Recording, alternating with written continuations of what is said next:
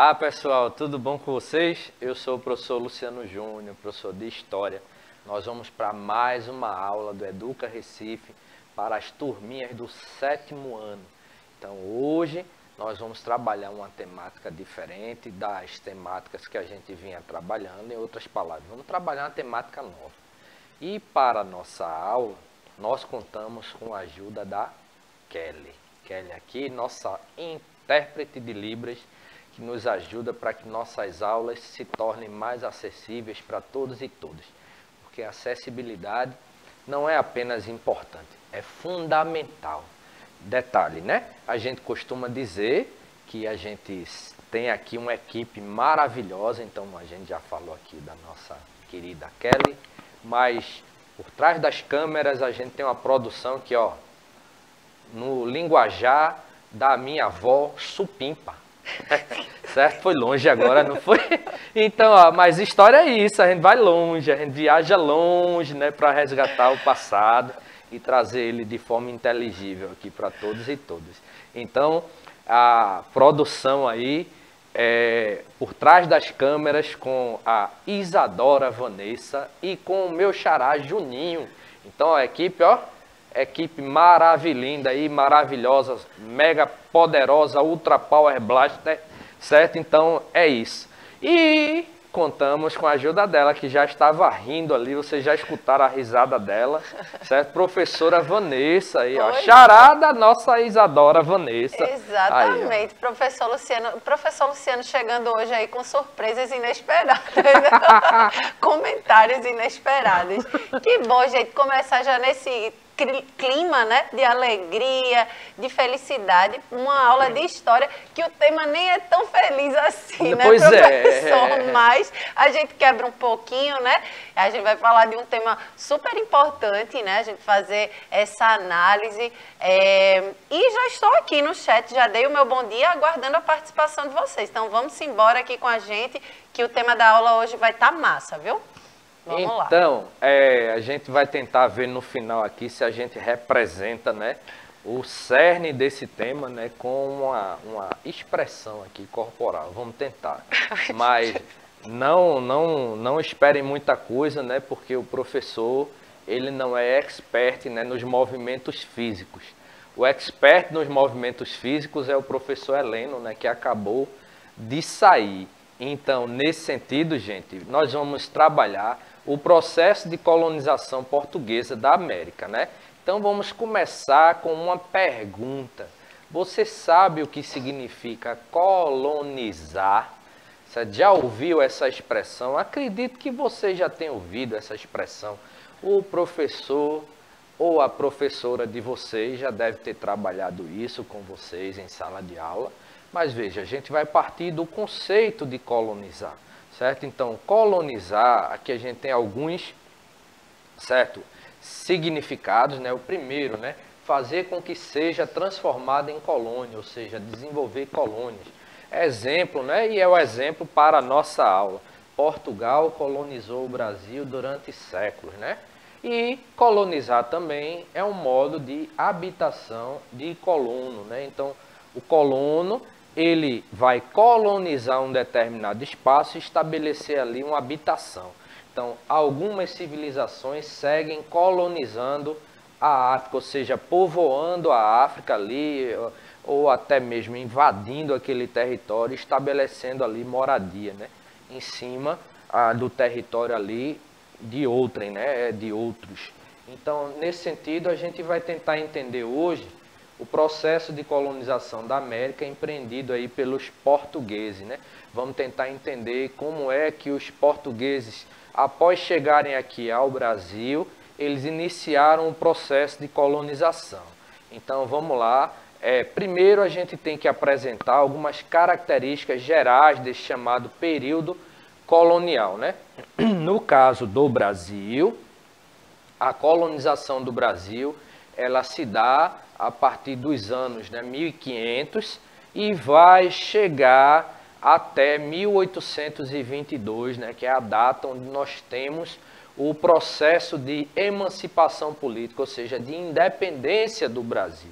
certo? Quando o Brasil ele vai se libertar né, desse processo de colonização portuguesa e vai é, é, se constituir como uma nação independente, né, como um Estado, Estado no sentido de nação independente. Né? Então a gente vê aí só, certo, é, levando em consideração que a chegada dos portugueses ela ocorre no ano 1500, né? Nós estamos em 2022.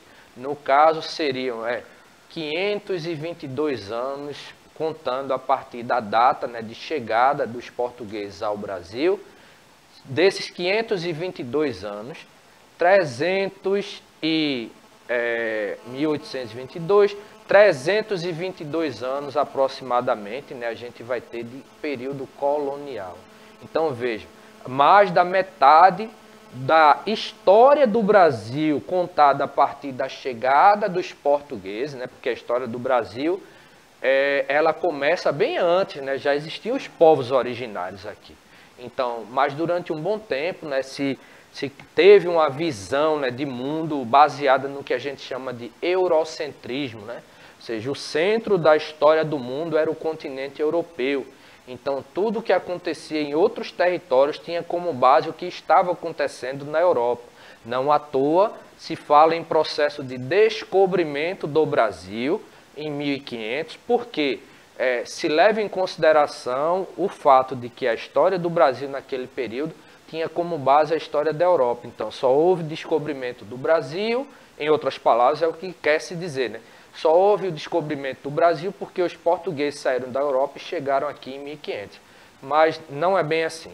A gente já tem, ah, é, já tinha, né, os povos originários aqui no Brasil, antes da chegada dos portugueses. Então, só para vocês terem uma noção, aqui no nosso estado de Pernambuco, especificamente no nosso município Recife, já existem relatos de povos indígenas ocupando o território onde hoje nós temos Recife, por volta de uns 500 anos antes da chegada dos portugueses.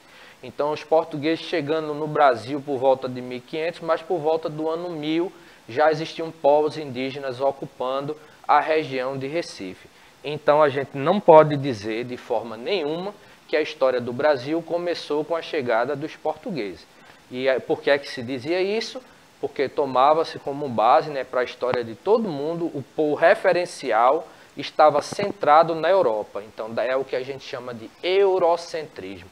Mas hoje, a partir do que a gente chama né, de estudos decoloniais, né, ou, ou a partir dos próprios estudos associados né, à origem dos territórios, ah, no caso nosso do Brasil, a gente tem é, novas versões que vão sendo acrescentadas para quebrar com esse paradigma eurocêntrico né, e é, formar cada vez mais um, um, o que a gente chama né, de uma história com uma identidade nacional brasileira. Certo? Então vamos lá.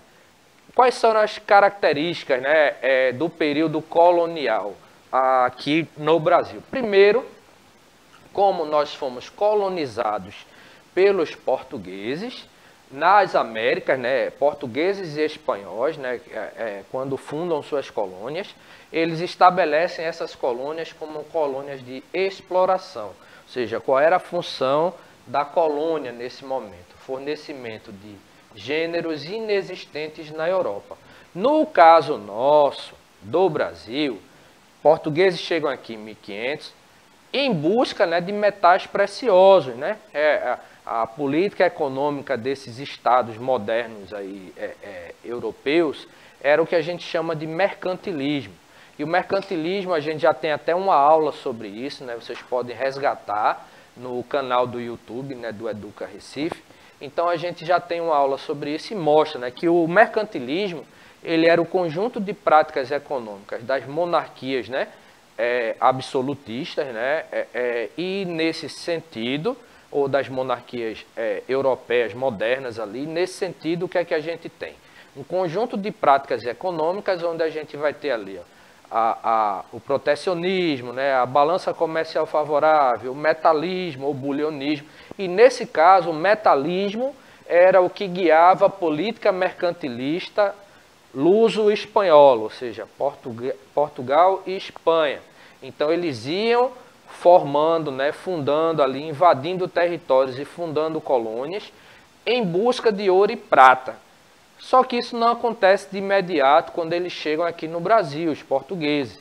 Então, eles estabelecem o que a gente chama de colônia de exploração e inicialmente eles vão se dedicar, certo, à, à extração e o envio de madeira de pau-brasil para Portugal. Por quê? Porque não encontrando ouro e prata, no momento era mais lucrativo para os portugueses continuar com o comércio de especiarias com as Índias. Então, as especiarias, em outras palavras, é o que a gente conhece hoje muito como alguns temperos, né? O cravo, a canela, a noz moscada, certo? É, e outros produtos como a seda, certo? O sal, certo? A pimenta, a pimenta do reino também né? entra nessa questão dos, dos temperos, né? dos condimentos. É? Então, naquele período, eram produtos que não existiam em Portugal. Mesma coisa, eles vão trazer essa mentalidade para cá e começam a enviar madeira de pau-brasil, gerando um dos primeiros problemas né, que a invasão vai trazer para cá, que é o desmatamento desenfreado né, das florestas de Mata Atlântica. Né? Hoje nós temos poucas reservas de floresta de Mata Atlântica no território do litoral brasileiro, né? Então, aqui no nosso estado, nós temos algumas, como a Mata Atlântica do, do território de Aldeia, certo? A Mata Atlântica no caminho que vai para Paudalho, certo? Então a gente tem essas reservas, né? O próprio Jardim Botânico ele tem exemplares né, da floresta de mata, de mata Atlântica, né? Então essa primeira característica, né, é a exploração, ou seja, você invade e começa a extrair recursos naturais ali que não existem no seu território para enviar para lá, certo? Outra característica, monocultura, porque no período colonial brasileiro vai se estabelecer o comércio né, da, da, do açúcar. Né? Então a gente vai ter os portugueses trazendo para cá mudas né, de cana-de-açúcar, que eles já plantavam em ilhas do continente africano, e como eles chegam aqui e encontram um solo massapê, um litoral que favorecia o comércio marítimo, né? um clima tropical. Né? Então, é, uma condição climática e geográfica muito semelhante ao que eles já tinham né, lá nas ilhas africanas e utilizavam para a produção da cana-de-açúcar.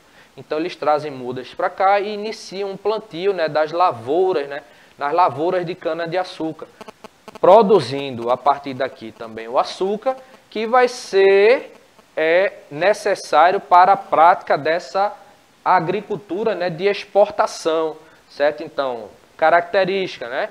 Colônia de exploração, monocultura, inicialmente com plantio da cana-de-açúcar, agroexportadora, ou seja, era produzido para ser enviado né, o açúcar para a Europa, né, para abastecer o mercado europeu. Detalhe, isso deu muito lucro para os portugueses, porque o, açúcar era um produto de alto valor na Europa, ok? Então, vamos lá, continuando. Outra questão, ó, o latifúndio. Isso vai contribuir, por exemplo, para que a gente tenha, durante o período colonial, o desenvolvimento de uma chamada elite, certo? Latifundiária, ou seja, os senhores de engenho, né, eles serão pessoas que vão acumular uma grande quantidade de terras, porque latifúndio seria o quê? Late largo, né? Terra larga, né? Então, ou seja, uma grande propriedade de terra. Então, monocultura, latifúndio e escravidão. Por quê? Porque o trabalho na produção do açúcar era um trabalho escravo. Inicialmente eles vão tentar colocar ali os povos indígenas, mas aí vai haver uma série de conflitos e eles terminam trazendo para cá os primeiros escravos e escravas africanos, certo? Na realidade, pessoas escravizadas, né? Ninguém nasce na condição de escravo pessoas são submetidas à escravidão por imposição de um grupo, né, geralmente mais forte. Então, nesse sentido, né, que usa dessa força para escravizar outras pessoas, retirando delas a sua liberdade. Então, nesse sentido, a gente teria o básico, né? É, o básico, lembra da palavrinha mel, né? M de monocultura, E de escravidão e o L de latifúndio. Não é de Luciano, não, viu? é de latifúndio. Então, nesse sentido, a gente teria aí o cerne né, desse sistema né, colonial, né, é, que vai perdurar durante mais de 300, né, é, mais de 300 anos aqui e, no Brasil. Diga sistema, lá, professora. Né, professor Luciano, latifúndio, escravismo e monocultura, a gente conhece também como plantation. Plantation, isso, isso né? Isso, exatamente. É, o sistema do plantation, certo? Exato.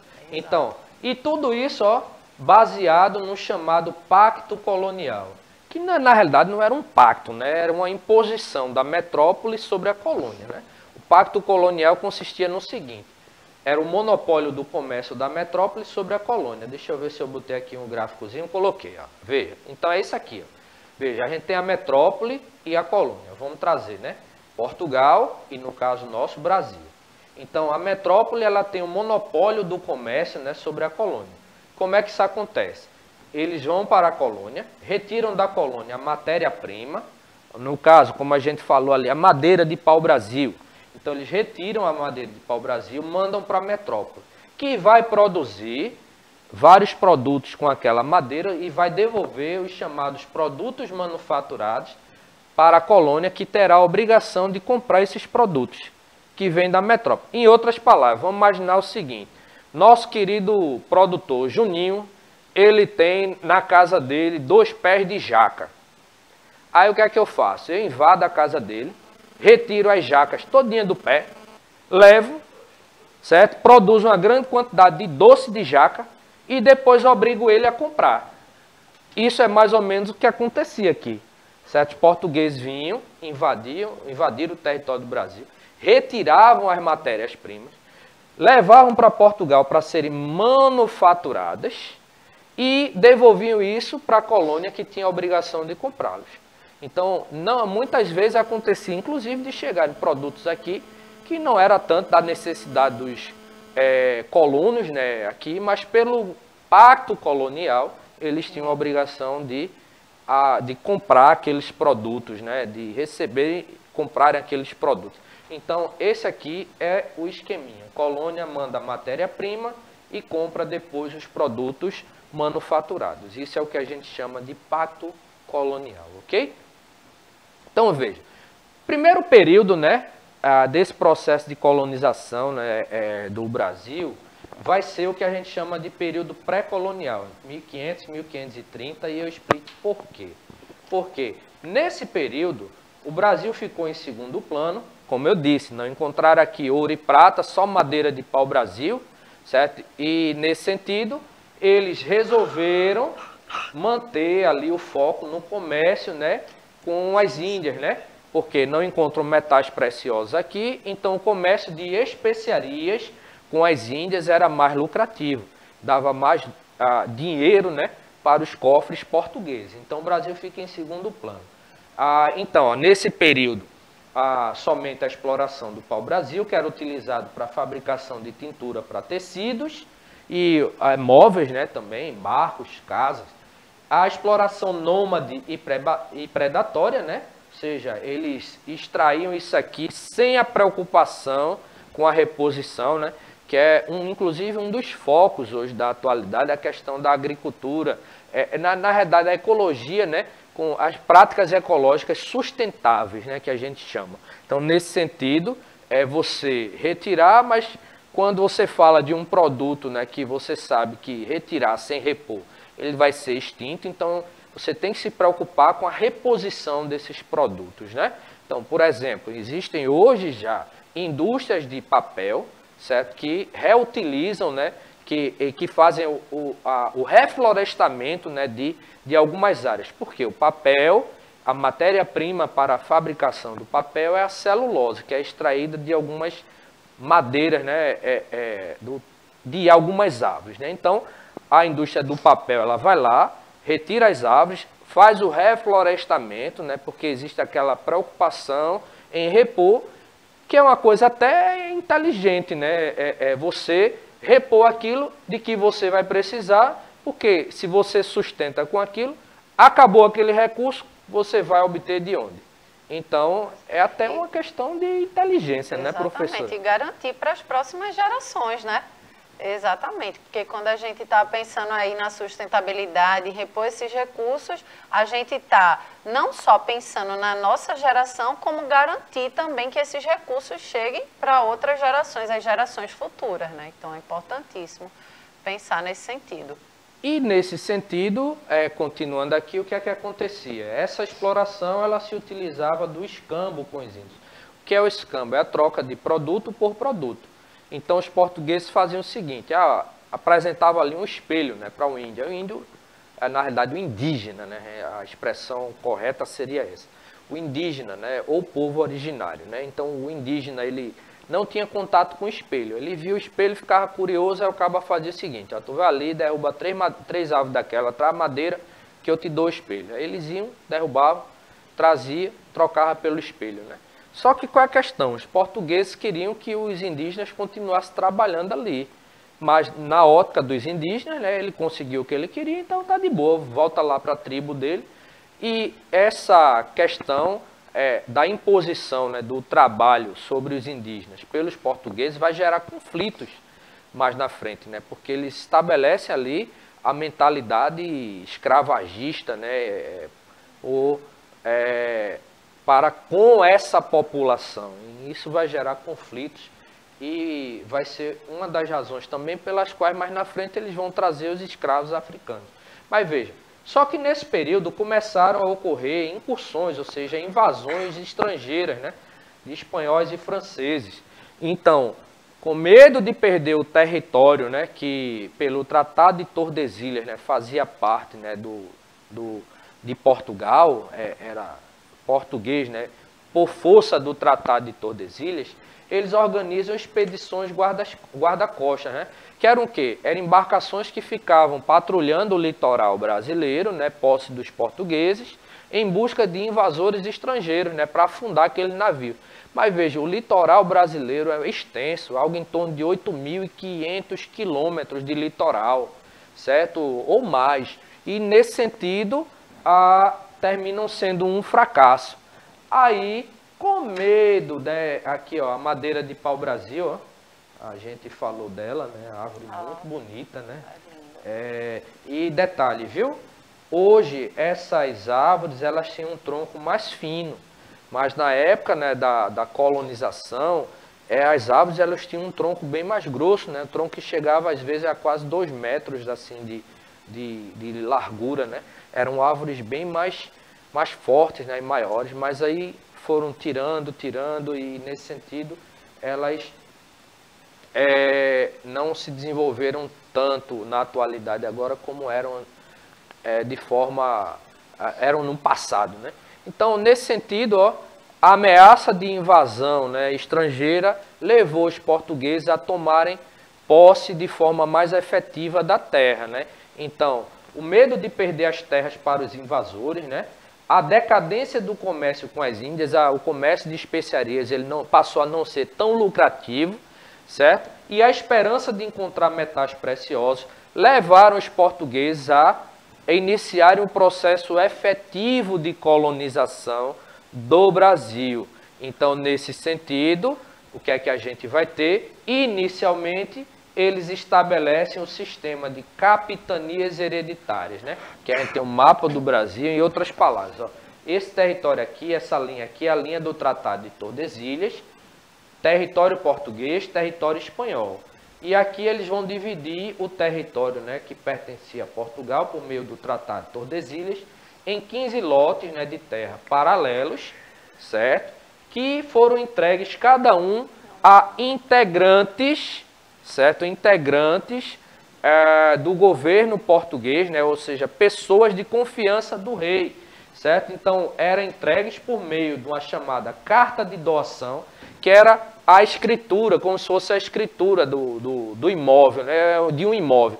Hoje você compra né, uma casa, um apartamento, então o documento né, de posse né, daquele imóvel é a escritura, né, da, dada pelo banco né, ou pela, pela construtora, né, a, a qual você comprou ali o terreno ou a casa ou o apartamento. Então, nesse sentido, a carta de doação era um documento real né, que transferia a posse da terra para aquele capitão donatário. Né? E, nesse sentido, o capitão donatário, ele recebia um lote de terra e recebia uma outra carta, que era o foral, que tinha ali os direitos e deveres né, desses donatários. Dentre esses direitos e deveres estavam né, direito de aplicar a justiça, escravizar indígenas e doar seis marias, que eram lotes de terra né, das capitanias que ele podia colocar para outras pessoas administrarem ali em seu nome. E entre os deveres, né, fundar povoados, cobrar impostos e depender, defender os territórios. Isso não deu muito certo, né? Não deu muito certo esse sistema de capitanias, porque apenas duas delas prosperaram, Pernambuco e São Vicente, que pertence ao atual estado de São Paulo, mas com isso, né, é, com esse, esse declínio aí, né, esse insucesso né, das capitanias, os portugueses resolveram estabelecer aqui um sistema de governo geral. Porém, isso a gente vai conversar com vocês, explicar para vocês na nossa próxima aula, porque o nosso tempo acabou. É, e nesse sentido, eu disse né, que ia encerrar a aula dizendo o que é que aconteceu né, com o Brasil, é, com os povos indígenas aqui do território brasileiro, a partir da chegada dos portugueses. E ó, o movimento foi o seguinte, foi aquele, né? É como se fosse um funk, né? Chão, chão, chão, chão, chão, chão. Porque foi só ladeira abaixo, né? Quando os portugueses chegaram aqui. Para os povos que existiam aqui, só ladeira abaixo. Foram escravizados, guerra, extermínio dos indígenas. Mas isso a gente também conta para vocês na nossa próxima aula. Valeu, Kelly. Valeu, professora Valeu, Vanessa. Valeu, professor Luciano. Um beijo, meu povo do sétimo ano. E até a próxima aula. Tchau, tchau. Tchau, gente. É isso. E eu fui.